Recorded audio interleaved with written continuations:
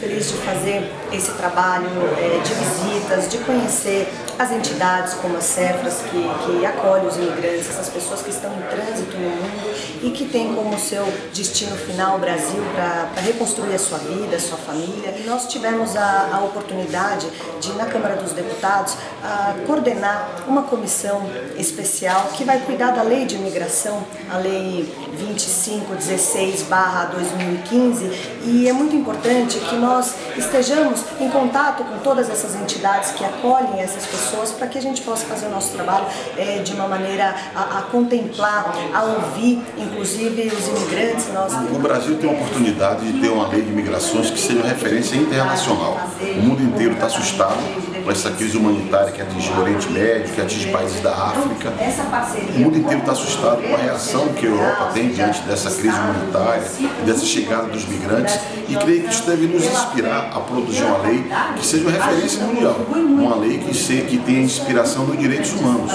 O projeto que veio do Senado da República tem essa marca, uma lei inspirada fortemente nos direitos humanos. Mas evidentemente que todo projeto pode ter seus limites. Eu recebi muitas críticas da sociedade civil, muitas críticas para esse, esse projeto, sobretudo do desrespeito à criminalização da migração, que é necessário nós impedirmos que haja qualquer referência à criminalização das migrações, até porque a migração é um direito, é um direito humano e faz parte da história da humanidade. Migrar é próprio da natureza humana. Eu acho que é, é muito importante, né? é, é fundamental que as pessoas que estão cuidando desse novo projeto de lei, os deputados que estão nessa comissão especial, eles conheçam é, o dia a dia, conheçam a realidade dos imigrantes para poder realmente saber o que, que acontece, saber como é o dia a dia, saber como é a rotina deles,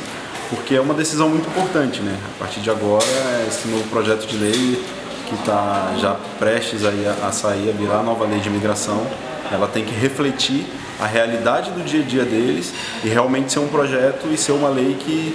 que estabeleça esse contato direto, que facilite o dia a dia deles, que facilite a adaptação deles aqui no Brasil. Então acho que a visita deles aqui vem de encontro realmente a essa, a essa perspectiva, né? o olhar do migrante, que eles consigam refletir isso nesse projeto, que eles consigam refletir isso na lei para que realmente a vida dessas pessoas e essa adaptação, que é uma questão tão complicada, uma questão tão delicada quando eles chegam aqui, é, seja é, feita de forma mais, mais tranquila, né? se, é, se é que é possível que seja que a gente forneça esses mecanismos para que eles consigam,